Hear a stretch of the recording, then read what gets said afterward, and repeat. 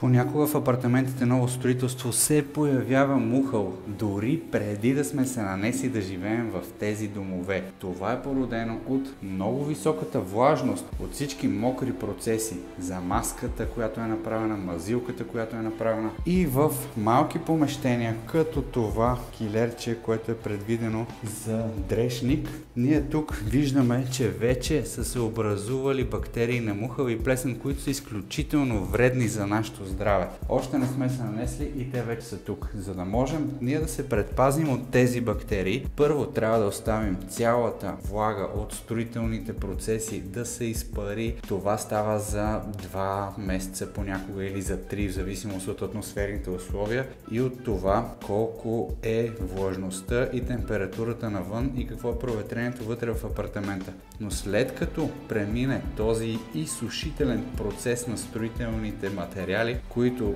са използвани за изграждането на този апартамент, е необходимо ние да почистим тези петна на мухъл и плесен с разтвор на белина и вода едно към едно или с препарат за махане на мухъл, който може да вземете от Mana BG и след това за такива малки помещения да използвате боята с биоцид Zinzer Permalite, която не позволява вече да се образуват бактерии на мухови плесен, просто защото те не могат да виреят върху нея.